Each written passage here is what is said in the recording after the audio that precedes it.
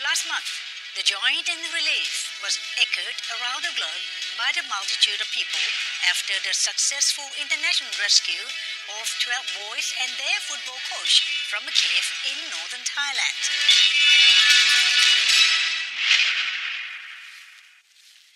Swadika, welcome to Thailand Today program on NBT World. Today we have Mr. Peter Haymond. He's Deputy Chief of Mission at uh, U.S. Embassy in Bangkok. He will tell us about uh, the United States and Thailand uh, in their rescued mission to help the 12 Thai boys and their coach out of the cave. Mm-hmm. Welcome to Thailand Today program, sir. Thank you very much. It's a pleasure to be back. In fact, I would like to take this opportunity to thanks, uh, well, with um, our gra- our thanks and gratitude to the U.S. of the people, also the people of the country, the whole country, to give a hand to Thai people. Well, I have to say, it, it is a pleasure to be here to talk about such, in the end, a, a happy topic for the most part. Um, I've now been here for two years in this assignment, and when anybody asks me what the high point is, mm. I say around 10:35 on the evening of, I think it was July 2nd, July 3rd, yes. when a call came in saying they've been found alive. Uh, That's the high point. That's gone too far already. We have need to start from the beginning. Of course, we can start from the beginning. we need to hear because uh, this is the mission, which is, as, as we all say, that is a possible mission from the impossible mission. So let me start begin with this. Um, so the opera, you know, the, who reached you? for the for the for the help for the assistance. Sure. Uh, we I first heard about the, the case of the missing boys. Uh, was that uh, the, that beginning of that week, the Sunday Monday, yeah. I think, uh-huh. um, 24th, 25th, and we saw that the search was beginning mm. and watching with interest. And it was the evening of uh, June 26 when the Ministry of Foreign Affairs, because they deal with foreign missions, okay. Uh, reached out and called me. Oh uh, to ask if uh, the United States could provide some technical assistance to support the Thai government's search here. And so I immediately started calling both civilian uh, teams that had search and rescue uh, assistance through our USAID office and uh, military search and rescue teams uh, through our JUSMAG and our Defense Attaché office. Okay. And it turned out that the civilian teams could come, but it would take at least three days to arrive. From America. From America. They would have to come from somewhere within the continental U.S. Oh, yeah. But the uh, military side had a team ready of about 30 people uh, based in Japan. Ooh. So what we had to do was work through that first night. This Okay. was the night of the 26th, the Tuesday, I remember, uh, because within the U.S. system, an official request had to come from the Department of State, our foreign ministry, to go to the Department of Defense, making a request. And the Department of Defense had to say yes, definitely, and they had to send a message to Indo-PACOM in Hawaii to say yes, definitely, and they had to send a message to Japan saying send the team, all of which was paperwork and phone calls and things. And we were very pleased that uh, I think we counted 28 hours from the time I was first called by the mm-hmm. Ministry of Foreign Affairs mm-hmm. to when the mm-hmm. search and rescue team from that had been based in Japan arrived in Chiang Rai. I think that's about as quick as we could have managed anywhere, and it's because um, on the U.S. side we recognized there is a time-sensitive request here, and it's a request by one of our closest allies looking for support, and we had to respond right away any way we could. So great. So, well, you know, my feeling when listening to you, as if it happened yesterday. I still know, feel like it happened yesterday. It's still very vivid for me uh, because we were very engaged uh, trying to provide this support mm-hmm. as How fast as possible. there? How many were the operation team? In the team that came from Japan, there was either 30 or 32. I've heard both numbers, just over 30. And then in addition, we had a few people come in a couple of days later from uh, Hawaii, some other specialists, and we had some support from the embassy who went up to work on media and on communication between the Thai government and the visitors, helping facilitate that. I think at our peak, we had 47 people uh, from the U.S. side up trying to contribute. Uh-huh. Now, I should explain that the team that came in from uh-huh. Japan uh-huh. was, you might call it a search and rescue package. Uh-huh. We had people who were divers. We had people who are experienced in doing parachute landings into difficult areas. We had people who were masters of rope, using Oh, rope for climbing, climbing, and communicating through Ah, large uh, through difficult areas. We had uh, medical specialists. We had a survival specialist who would look at nutrition and first aid and such for a difficult circumstance. And we had logistics planners because an operation can mean trying to integrate people from different ministries, from, in this case, from different countries. And so someone who's used to planning out an operation like this. So it was a package to deal with a variety of challenges and then try to help in any way possible. Mm. And we recognized, of course, that this was led by the Thai government, who had many, many more people on the ground uh, doing their best mm. to rescue the boys. Mm-hmm. And we were just trying to provide support in any way we could to this Thai led operation, which soon became a multinational operation. Can we consider it as a fortunate time for Thailand to have such a great group of people operated there with fully equipped? I mean, we we call it fully equipped because everybody, I mean, every faction, every function, they've been cooperating. You know, you need not dispatch here and there anymore. I have to say that there's good fortune and there's a policy and a strategy of building good relations. And that is for the United States and Thailand. Um, we've talked before, this year we're celebrating 200 years of friendly relations. Exactly. We've been allies for over 60 years. We have very close training uh, opportunities on all types of government work. So that relationship was in place. It wasn't just because Uh, the request came up. Uh. And similarly, Thailand has built strong relations with many other partners. Uh-huh. And when your partner, when your friend uh-huh. asks for help, you say, How can I help and how fast can I get there? A friend in need is a friend indeed. Though my point is, this wasn't just a circumstance for right now. This uh. is an outgrowth as a result of a long standing friendly relationship and partnership. And these 200 years we really marked this time. This helped us. We've been celebrating this year, Vivid, yeah. and this was a vivid example. Mm. I should mention one other thing on how uh. the, the, the help was possible.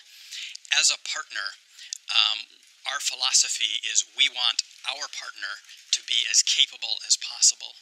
And so we, in any given year, are working on all types of training opportunities mm-hmm. that give our people a chance to practice uh-huh. and give our partners a mm-hmm. chance to mm-hmm. practice. So, for example, um, this year again, we had our annual Cobra Gold exercise, Gold. which is Every year. military to military every year. Uh-huh. And every year, they're a part of Cobra Gold deals with humanitarian assistance and disaster response, how to deal with that.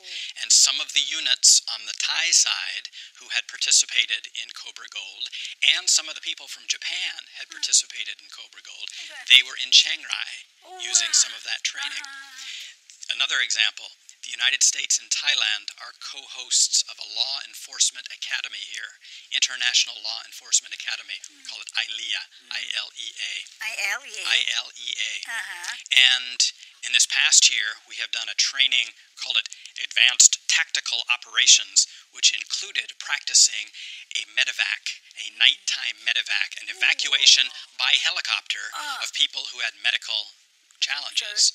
And there was at least one helicopter and crew who were in Chiang Rai who eventually evacuated the boys who had been through this training, ah. something we both benefit from. Mm-hmm. Another example hmm. in public health, we have lots of cooperation here for many, many years. Uh-huh. And one of those areas of cooperation is on protocol for blood testing and medical testing in difficult circumstances. And some of the protocols that were used when the boys were brought out test them for bacteria and viruses they may have contracted in the cave are things that we have worked on together. And this isn't just, we do this for our benefit too, because we learn from this Oh, practice. uh. But our philosophy is we want our partners to also build cap- capacity. Again, that's why this wasn't just fortunate, just good luck. Mm. A lot of it is practice and training over many years, and this was a chance to use it. Unbelievable that it's being And what a great story. I still have friends and relatives in America and all over the world in other countries who are still writing me about this event and how closely they watched it, how pleased they were, how happy they were at the outcome. And I say, I'm just proud that the United States was able to help a bit in a Thai led effort. divers. Um, we, we were not, our team was a sort of a general search and rescue. They weren't necessarily cave divers. And so our, t- our divers tended to be focus on placing the air The tanks tank, uh. so that the very experienced cave divers from the UK and Australia and other places Can and the Thai seals Ah. could go all the way into uh, the boys. We had divers assisting with that and with the cave.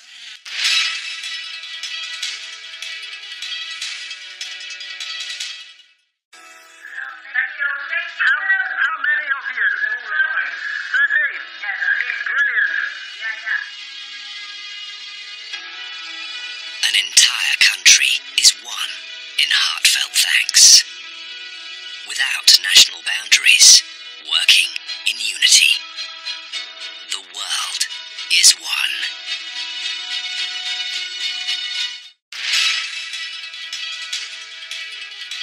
You did talk about plan. I'm really, uh, especially interested in this uh, this group of people, these planners. Mm-hmm. You know why? Because um, the gl- all, all like about how many countries been here?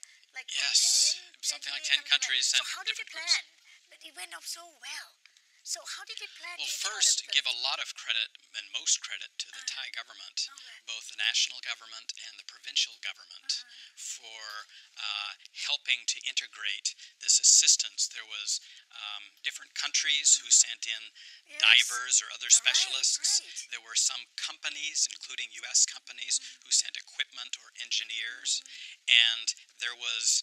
I mean, the focus has been on the divers, but for a long part of the the rescue attempt, it wasn't clear whether diving would be enough. Hmm. So there was um, exploration of drilling possibilities, maybe drilling through the them up, mountain in.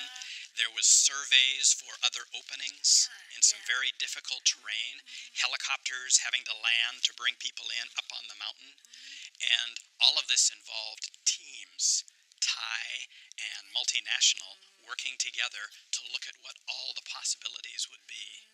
So, first credit definitely is to the Thai government, both national and provincial, for integrating the Thai side and for welcoming in the multinational. Um, in our own team, we did have people who were experienced in dealing with disasters, just sort of general disasters, and uh, setting up um, a system of communications and planning so that every unit that is involved knows what its role can be. And we hope that our people who have that background were of some assistance to the Thai side as they were deciding which course of action to take, where to focus their attention, how to divide up their teams, and make best use of the multilateral side. After this victory, and we have Mm. crossed over that. The, how did they say? Did you have ever ch- a chance to meet with the, the crew and the operation team from US? Um, I met with our embassy people who came down, uh, who had participated and came down, who were still vibrating with the excitement Really? and the the positive result because they emphasized over and over. Um, you asked, you said about good fortune. Um, there were many, many ways this rescue could have failed. Many, many ways that it could have not been successful. It needed expertise and um, a lot of good, Strong-minded. will working together, and a little bit of good fortune with the weather in particular for it to work out. Um, my ambassador flew up to Chiang Rai to mm-hmm. see off the um, the the whole group that went back to Japan to thank them for their assistance. And um, he saw the governor up there, the current governor of Chiang Rai, and the former governor of Chiang Rai, and there were representatives from uh, the Ministry of Foreign Affairs and the palace for that send off. It was very nice. Um, I met down here with a few of the people who were going back to Hawaii uh, to talk about their experience and what they saw. And we also had um, one member from Japan, um, a captain, an officer, a woman who was the spokesperson for Yeah, our yeah, team, yeah, uh, Captain Jessica Jessica, Tate. yeah. And we had her come down Uh. and talk a little bit less, not just about the cave, though she, the cave rescue, she talked about the U.S. role there Uh. and her own impressions. But we also took the opportunity to have her come down and talk about being a female officer in the United States military and her experiences there, and just ideas about uh, female opportunities in the modern world in some areas that traditionally were viewed as more male industries. So that was very interesting as well. Very interesting. So, what equipment require for the rescue that the U.S. Indo-Pacific Command also arranged for the mission? For our side, we brought in the people, of course. Um, we brought in some equipment for getting around. I talked about the ropes and other things for helping to manage. You brought Um, rope there? I think well, There's a particular type of ropes or what? well, people who knew about the ropes. You're right. I may have found rope, may have brought some rope. Uh-huh. um, I think we. I think we may have provided some of the additional air tanks. We helped to place the air tanks Yeah. along with the Thai and the multinational side. Um, we brought in food too. There was food on the ground. We also brought in rations. I was about to ask you later about the food. Uh, the the rations both for the teams who were working and in case they were needed inside. I should also mention that um, the United States uh, private sector, there were several companies who were very active in doing what they could to do Oh, to support. Uh, you may know the company Chevron, Chevron, who yeah. is very active in the Gulf of Thailand uh, Ah, with uh, uh, petrol, petroleum and gas. They have a lot of experience in moving water. That is, digging wells and draining water out of it. So mm-hmm. they sent engineers up to Chiang Rai and a lot of piping Goodness. piping to help take the water out of the cave. Mm. And we heard afterwards from a Thai society that was working there that the Chevron engineers helped increase the efficiency of the pumps out of the cave by a very Oh. significant amount. So Chevron also, I understand, provided some gas detectors that could check the oxygen levels inside the cave. You may have heard that's one of the factors they, that helped the decision that we need to do this now because the oxygen levels are falling. Oh, yeah. We had a couple of small companies that donated pumps and donated, uh, it's a rock climbing group out of Chiang Mai that donated people who were experienced in climbing around mountains, because remember they're looking for other openings, and who spoke both English and Thai to help uh, the communication between the Thai side and the multilateral side. We had a company that uh, that specializes in very high capacity water pumps. And they also sent engineers to help advise to start with, and then they sent some of their best pumps. Now, as it happened, those pumps arrived the last night before the last boys came out. But again, so they weren't used, those best pumps weren't used there. But at the time, no one knew how fast the boys would come out and how long the operation would have to keep going. So those pumps arrived, and the company has since donated them to the Thai government to use in any future emergencies. And that company right now is offering assistance to the Lao government to drain water away too, because water is their specialty. Very grateful to all of them. Um, so, what expression about this uh, from them? What is the expression there? I mean, that's such a difficult area. Food, you mentioned they brought it, but sufficiency is maybe not enough, right? Mm-hmm. So, how about the Thai food and the people around there trying to promote, trying to help? We were- What, if, what was uh, I heard this from from our people from the embassy and mm. from Hawaii who came back through mm. Bangkok afterwards. How impressed they were, how overwhelmed they were mm. by the local support, by the the Thai people who would say. Your clothes are all dirty from working in the cave or diving. Give them to us. We will wash them and bring them back. Or you need something to eat here. Let us give you something. Okay. Just looking again, looking to help in any way they can, and expressing that lovely Thai spirit of warmth and support. Uh, they were very impressed there. somebody should have sent um, Jelia? Mm-hmm, okay, so how did the U.S. team directly support this international mission? I mean, you already said that well, they have done it. We had Yeah. again, we had divers. Um, we we were not. Our team was a sort of a general search and rescue. They weren't necessarily cave divers, and so our team, our divers, tended to be focus on placing the air air tanks tank, uh. so that the very experienced cave divers from the UK and Australia and other places and the Thai seals Ah. could go all the way into uh, the boys. We had divers assisting with that with the Cape. We had uh, the team, as we talked about, uh, assisting in looking for other locations for drilling or access outside and preparing helicopter landing zones and talking with the, the Thai side about how to safely move loads by helicopter up on the mountain, which can be very dangerous. Mm, of Can be very dangerous. Okay. And we had people um, working, as I said, in helping with the coordination and logistics planning, which can be a challenge when you have lots of different agencies and lots of different countries involved there. And uh, then I know Captain Tate uh, and her team, including some people from the embassy, tried to help, particularly with the international media. I understand there were somewhere between 1,000 and 1,500 media representatives there because yeah. the whole world was interested. The whole world wanted to know. Uh-huh. And so they were up there both talking to reporters on the ground and doing uh, nighttime interviews back to uh, channels all over the United States that wanted to know what was happening. Everyone was caught up in this story. And not to forget the, the one tragic side of the story, too, of course. The, the sacrifice of now Lieutenant Commander uh, Saman, um, who died serving the boys and the coach, gave his life to support them. And along with the story of the success of getting the boys and their coach out, we want to make sure we remember with the Thai people the sacrifice of that former Navy SEAL who volunteered. Volunteers. He wasn't was even assigned to come. He volunteered to come help. We Oh, remember him. right. So, thank you so much for being here. It's a great uh, pleasure. This this is a highlight not just of my time in Thailand, but a highlight of my career.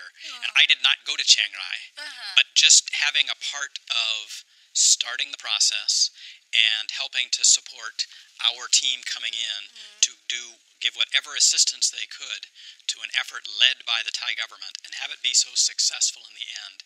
That's a highlight for me and for the embassy. And it's a great opportunity for us to illustrate what we mean by friendship mm. and partnership between the U.S. people and the Thai people. It's gone on for 200 years. We expect it will go on for 200 years more again. yes. And the meaning of that partnership and of the training and exercises we do together, mm. it's to make this type of cooperation possible when the need arises. Thank you so much. Thank you, behalf of Ajahn people here in our studio. It's our pleasure and our honor. We have program with great thanks to Mr. Peter Haymond, uh, his Deputy Chief of Mission at the U.S. Embassy in Bangkok. Thank you so much for being here. Have a great day and thanks for watching Thailand today and we hope to see you again. สวัสดีค่ะ